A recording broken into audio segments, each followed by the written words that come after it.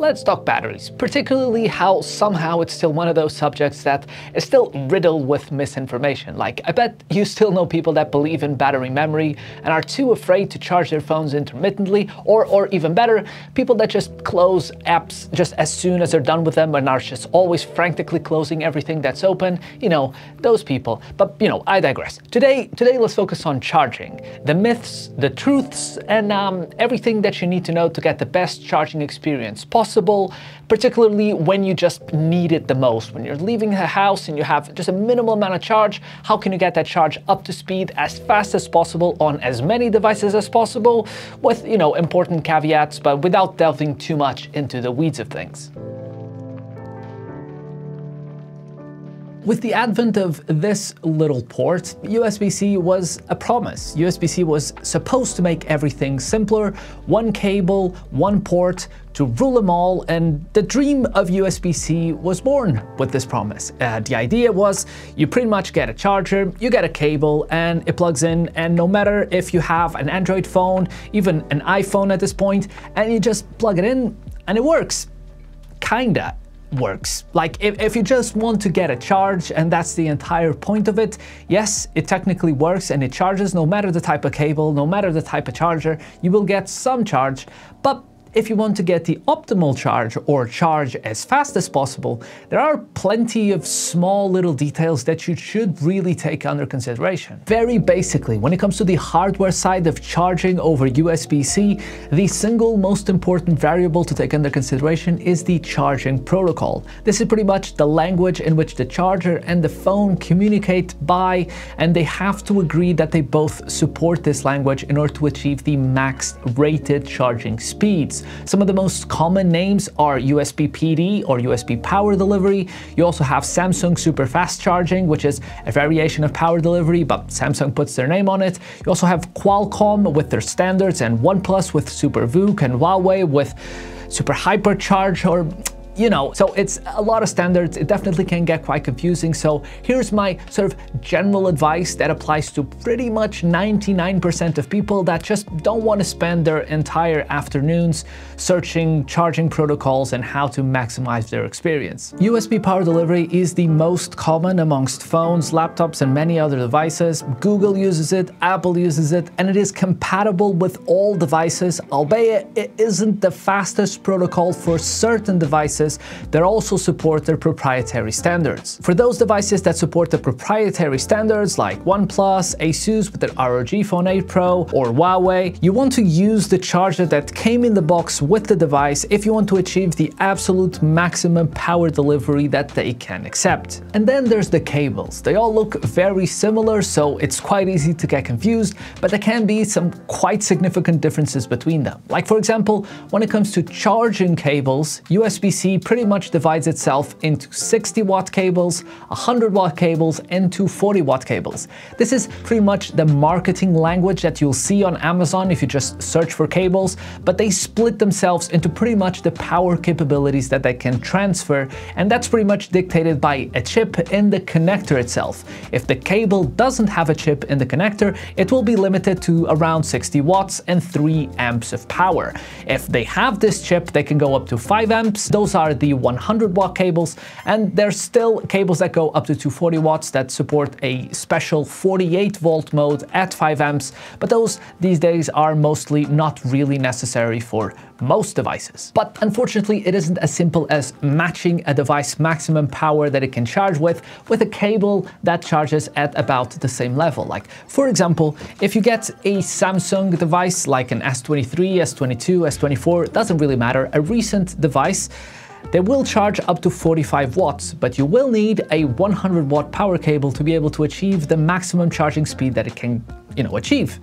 That seems counterintuitive because a 60 watt cable should be more than enough to charge at 45 watts but you kind of need the 5 amps that are only available on the 100 watt cables uh, to reach this uh, sort of charging speed, so it can get quite confusing. But you know, here's, here's, here's a general piece of advice uh, if you're trying to simplify your life when it comes to the cables just buy the 100 watt cables. Like for most devices, if you're charging a laptop, if you're charging uh, a phone, if you're charging uh, pretty much anything that supports fast charging over USB-C, a 100 watt cable will be enough for everything. Like there's still space for a cable to not be good enough, even if you get a 100 watt cable, like you might be able to not just be a good cable. That can happen, but as a general rule, Avoid the 60 watt cables because sooner or later that cable is not going to be good enough for a device that you upgrade down the line and a, a USB cable can last you uh, a really long time. And uh, since we're on it, just avoid the 240 watt cables. They're usually quite a bit more expensive and shorter lengths, um, so uh, there really isn't much of a point. So unless you really know that you need it, like you have uh, a power bank that can charge up to 140 watts, or a laptop that can you know push all that juice, just a 100 watt cable should be more than good enough for most people. And finally, let's talk about the logistics of actually getting the fastest charging possible. Like, picture this, uh, you're late, you have to leave your home, and you need to get as much charge as humanly possible. What's, what's the game plan? What's the first thing that you're gonna do? Now, I'm not gonna sit here and advise you to follow some of the most common pieces of advice that you hear around, like put your phone in power saver mode or uh, turn on airplane mode or turn off your device. Because in the real world, like if you're in a rush to get away or to leave your house, you should be uh, reachable, like people should be able to call you uh, if they need to because you're probably going somewhere or beating someone. So airplane mode or turning off your device sounds like a bad idea. And power saver, you know, all these tips can marginally help you because really the thing with charging is you reduce the power that goes out and you increase the power that goes in.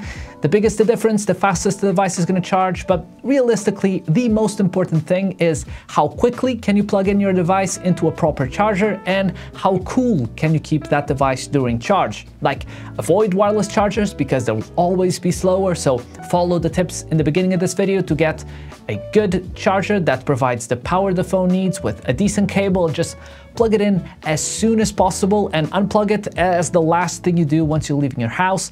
And when it comes to heat, you know, just avoid putting it in direct sunlight or on top of something that's, you know, fluffy like your bed covers or something. That usually isolates the heat inside and doesn't really help the phone to retain the max charging speed. And phones really, really throttle charging if they are too hot and can't really, you know, remain at a safe temperature during charging. And that's pretty much it. That's pretty much everything that you can do to actually get that charge as quickly as possible. Look, you, the truth is USB-C is confusing. There's a bunch of different variables and I only talked about the charging side of things. There's a whole other world when it comes to the data transfer speeds.